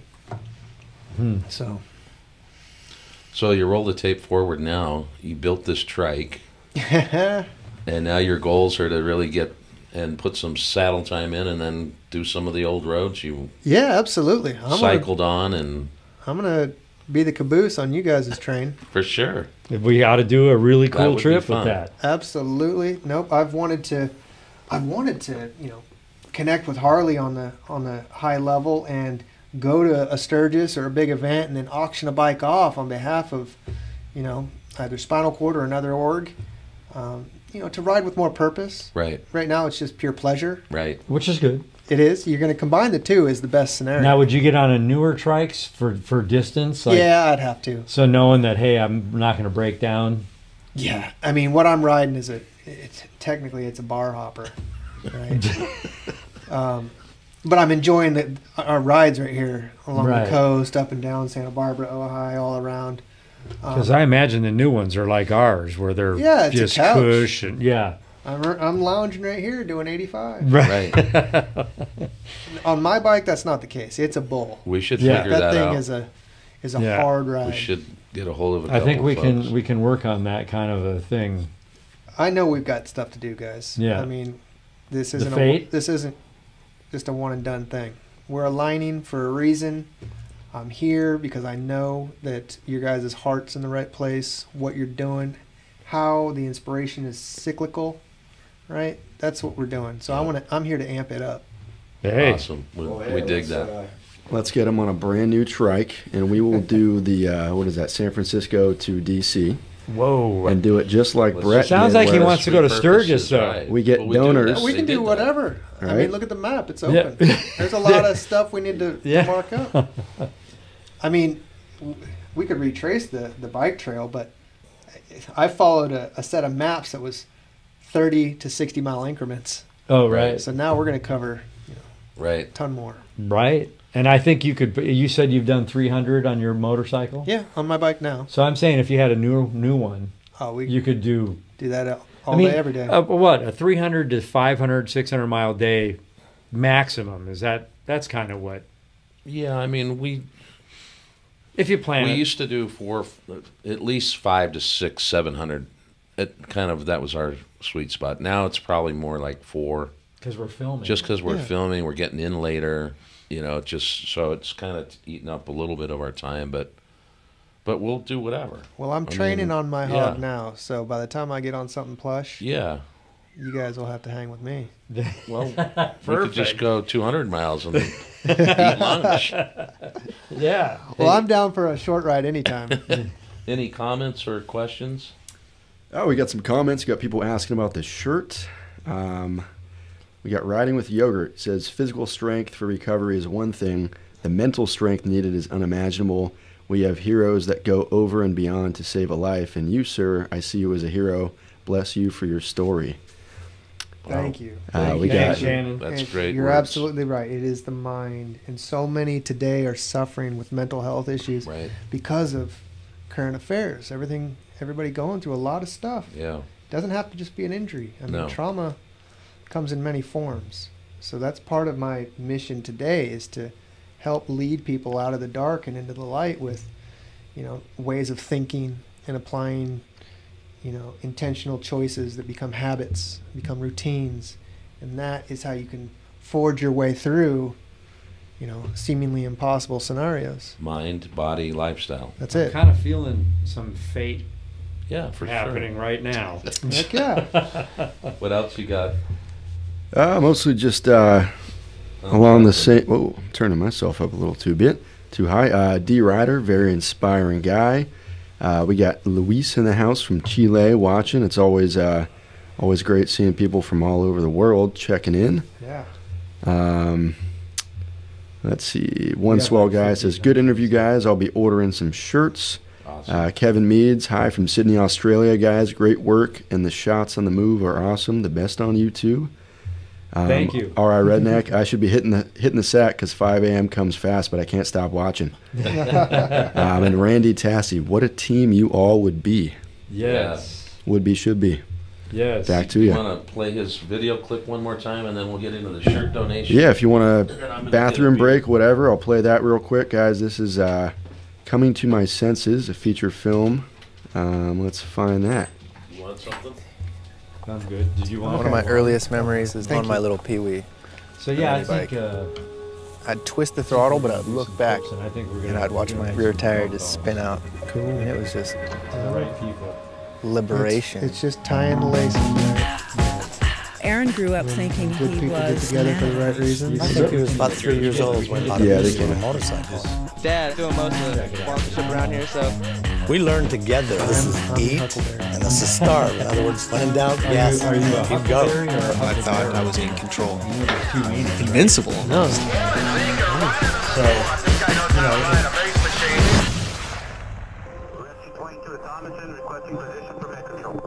I picked up his hand and it was just like no life. In that situation, the probability of any recovery of function is almost zero. Multiple neurosurgeons gave me a one in a million chance of ever feeding myself again.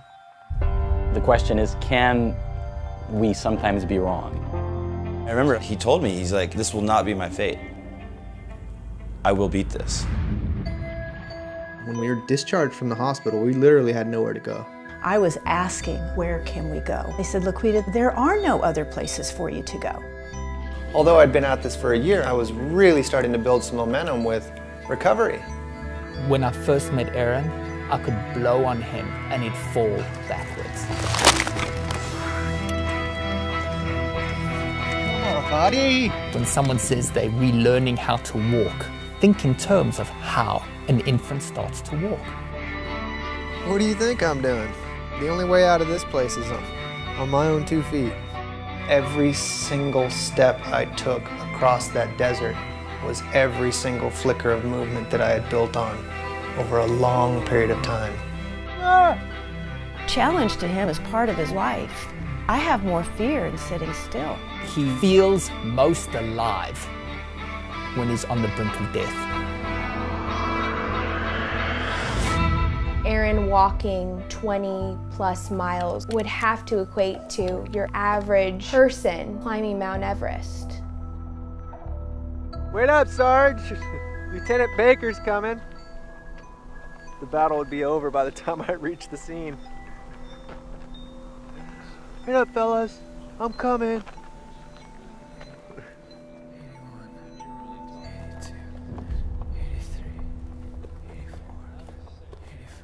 We ride. It's unusual, but all three of us actually we ride these excellent trips, and we have so much fun on these journeys we take. But we all ride to the office every day. You don't. You won't find us in a car. We're all especially gas prices, man. Yep. Yeah. it makes way like- more sense. I always say everywhere I go is a good time, even if it's to the office, because I you're always smiling in your helmet. It's Yeah. it's and we we we'll be done filming, and we'll have 300 miles to home, and we're in the headsets making our own show. Nothing's being recorded, but we're having a blast just screwing around with each other. You know. Hey, we need to call out. We've got a couple of orders in. Oh, see already for the. Uh huh. Well, Oh man. let's see here. We got a couple orders for shirts, which we will be donating to the cause. Uh, so first, oh, that's that's Evan West, but he did buy a shirt with his parts order as well. So shout out to Evan. Uh, we got one swell guy who's actually watching right now. He's from Webberville, Michigan. Kylie Byrne. Uh, we got Kylie Byrne, and if you're leaning forward, they can't hear you. And I don't know if you can see it, guys, but see the back of the shirt there. It's a cool shirt. See it down the road. See y'all down the road. See y'all down the road. What size is that one? This is a large. Cool. If we have black and we have uh, Navy. blue, we'll get Nice. you one Those of are each so you can sport the cause. You have black and navy blue on your, your shirt right there. Oh, yeah. It was colder there in uh, Studio City today. Was the it? fog was all socked in. Really? Yeah. Hmm. Have you guys would- read the book uh, Zen and the Art of Motorcycle. Sure Maintenance. have. You well, have? I read about three quarters of it. Get through it. Yep. All That's right. a good one. It was funny. The uh, one of my friend, documentary filmmaker, got me into it. He told me about the book, and he doesn't ride, but he understood that it wasn't actually about motorcycles. Um, and you know, the first couple of chapters, I was just it aligns so much with what we do in many Exactly, ways. that's- And then, I guess, yeah, I guess I just didn't didn't pick it back up. But I guess I know what I'm doing tonight. Another shirt set. There's another one. Um, All right, we got. And when we talk about fate, we've been doing this for about 18 months now. Everywhere we go, everything we've done, I mean, we'll have a plan where we're going to go, whether it's from A to B, but everywhere between there, we've had people DM us as they, they go, I, we just rode by you guys on the, on the road, and you should check out this. And we usually do. Yeah. And we've met friends. We have we have friends and people in so many different places, and it's all from just meeting. And this guy DMs us, "Hey, you guys should go down to Tortilla Flat." We go. This is just an example. Yeah. And it happens all the time. We go down to Tortilla Flat, and we're sitting in there. We need Wi-Fi. We're going to go live, but we didn't weren't able to do it. But we there's a guy at the bar, and we talk to him, and he comes and sit with sits with us. He's the owner Of the of Tortilla of Flat. Tortilla No Flat. way. The town. He owns a supercross team. So he's talking about his racers, and he knows people we know. Next thing you know is, hey, why don't you go guys go down to the Union with us in Arizona, Chandler, Arizona? Uh, Gilbert. Uh, Gilbert. We're, so we go down there with him, and we're eating dinner. It's his restaurant, and he does bike nights. You know, so it's like, so he's a friend now. But we've over. Sorry for the connection, guys. Is the connection gone? Yeah, we actually we had some pretty bad issues in the beginning, first couple minutes, and then right now they can still hear us loud and clear, which is great. Um, but for some reason, there's just been a little connection. What's up, Laura? Um, but yeah, they should still be able to hear us. So while we're at it, shout out to Robert Razzo from LA, who got himself a "See You Down the Road" shirt. Nice, nice. Um, I'm just gonna give it a sec, but you guys can keep talking and see if I can figure this See, out. it's- it- Is it because the video kicked in? I think it has something to do with the couple hundred feet of wires and cables that we installed yesterday. Um, getting a little error here, but it's still, hopefully, still streaming. Gas, gas can see. Brazos FXD Superglide says, "Hey Josh, can you guys not ship it? I'll pick up the shirt." Yeah. What? Uh, oh, that's Robert Razos. Yeah, that's okay, Robert. you got it. Um, it'll it'll pick back up in a minute. Maybe it's because we're all using the Wi-Fi. That could be it. I'm gonna Shouldn't turn. be. We're on. But it just happened when we started opening up all our phones. Ah. Aha. So what were you saying now? The No, I mean you guys are. It's so effective because you're in alignment. You're doing what your heart really wants to do, right? You think about this, you speak about this, you act on it, and you're literally riding into people's lives and sharing that process. So that's why you're so magnetic, yeah, that definitely is hundred percent. right? Well, like there's definitely a leap of faith. I mean, I got out of the banking industry. He still got his company. We would come back for you know three or four years worth of stories to our families. Would come back and tell them the people we met, what we saw, and they're like, "You've got to capture that some way." And so they were kind of the the folks that really pushed us to do it. And then it was like this. Well, let's go take two iPhones and he had a little stand for his Yeah. phone, a little tripod, and we went up to uh, what's the what's the Nevada? Carson City. Car- no, no. What was the first drop? Virginia City. No, no, no. Oh, Death was- Valley, no, Beatty. No. Reno. The first No. trip, first trip Mount we ever did. Charleston. Oh, it's Okay. outside of Las We're Vegas. but that's through Death Valley.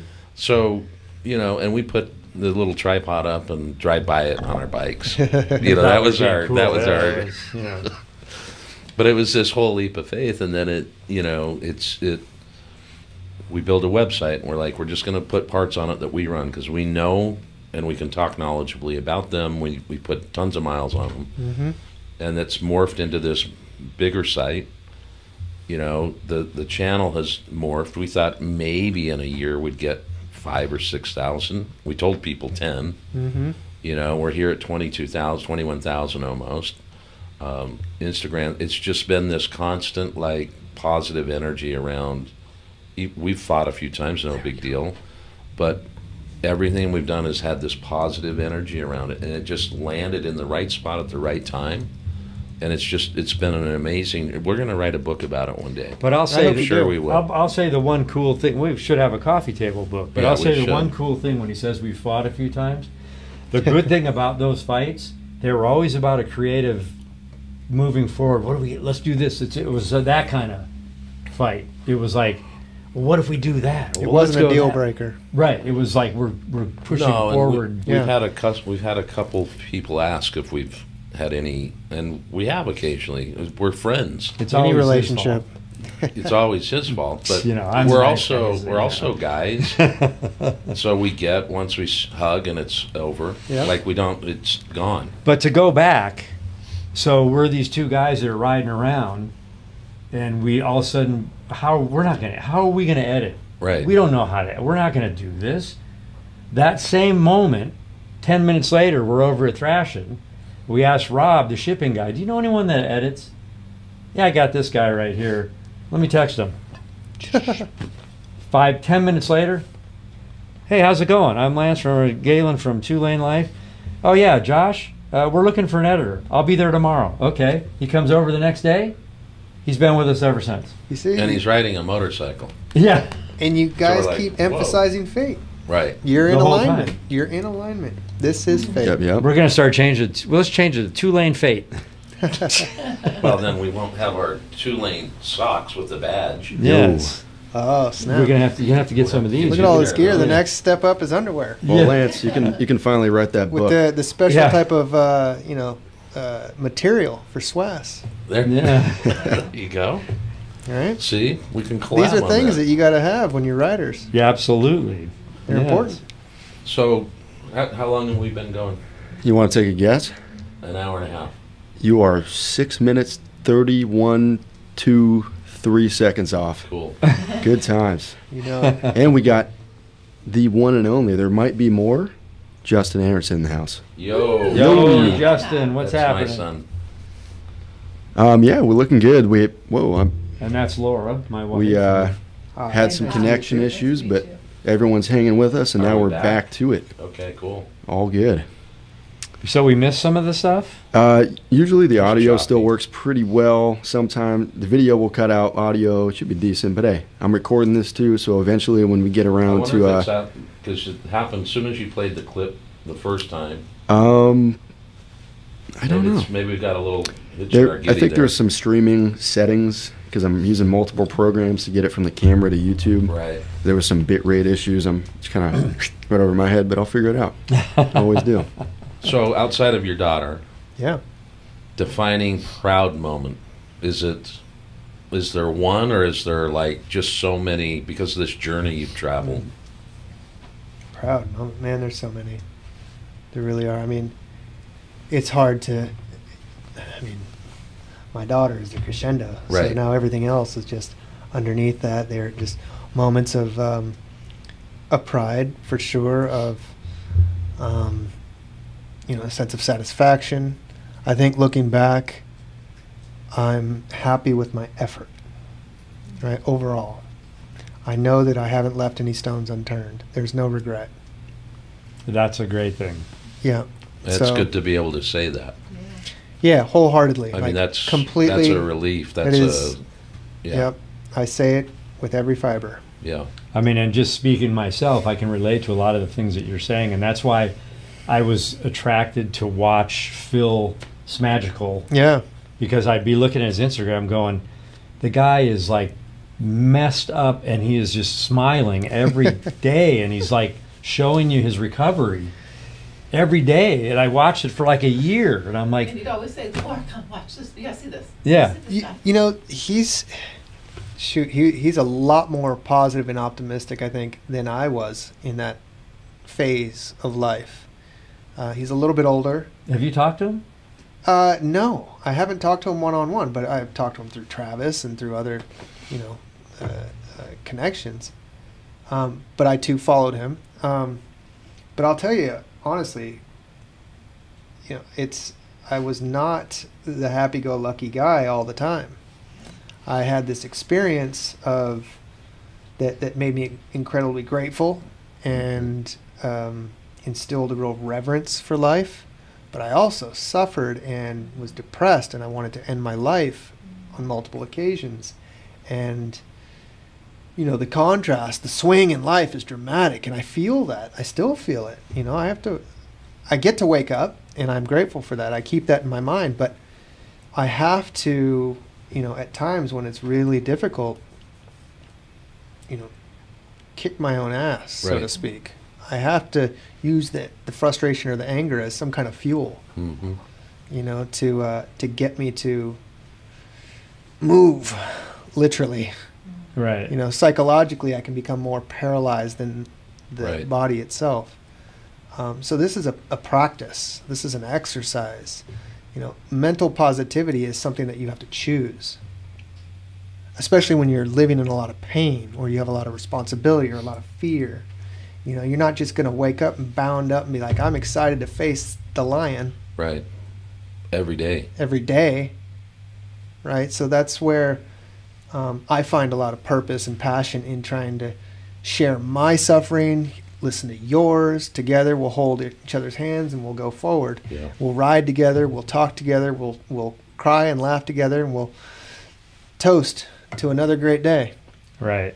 But you know, these are this is a process, Yeah. and that's where we find progress. Right. Wow. Well, we're incredibly grateful to have you joined our lives. Um, not our show.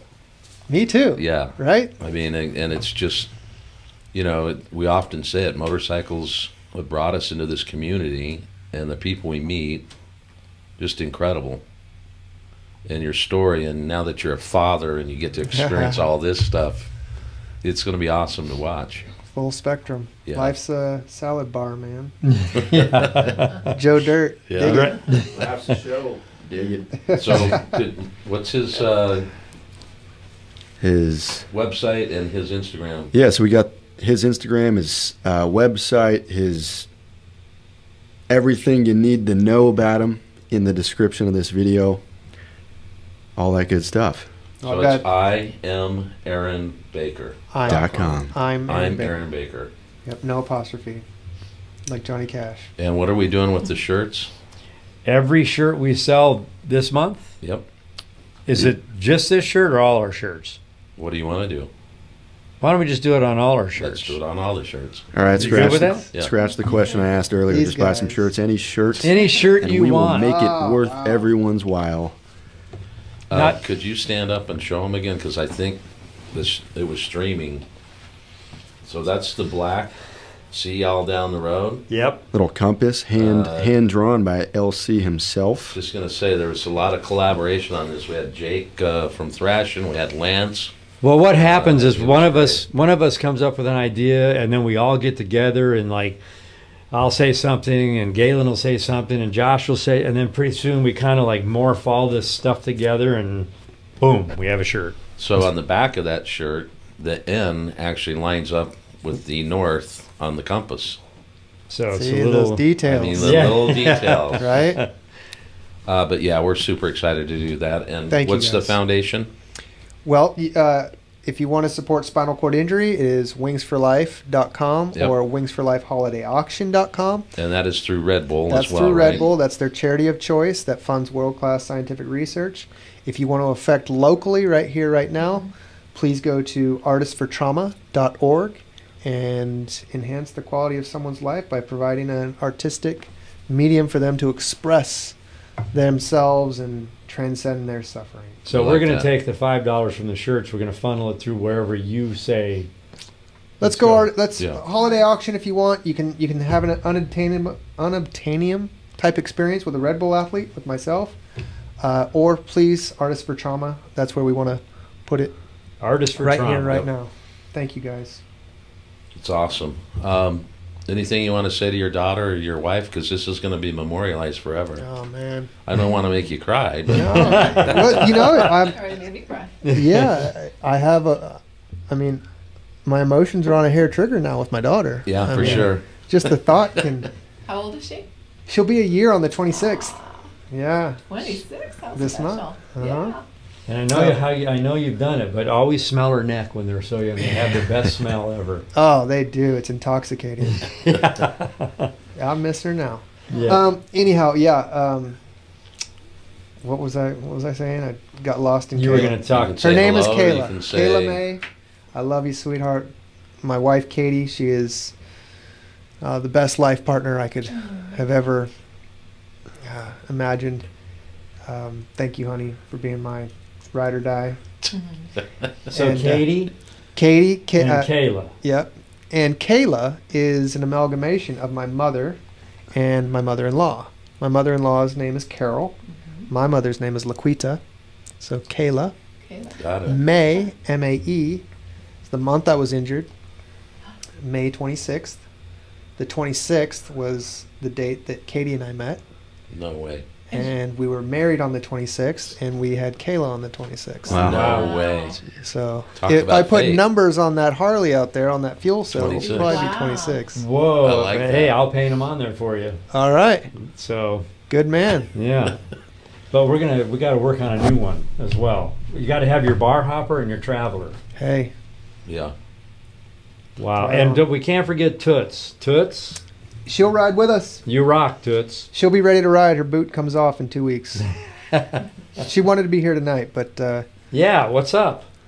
she's getting ready. Yeah. We had a chair need- for you we and need her everything. over here. Yep. She and Hans, we put a lot of miles together.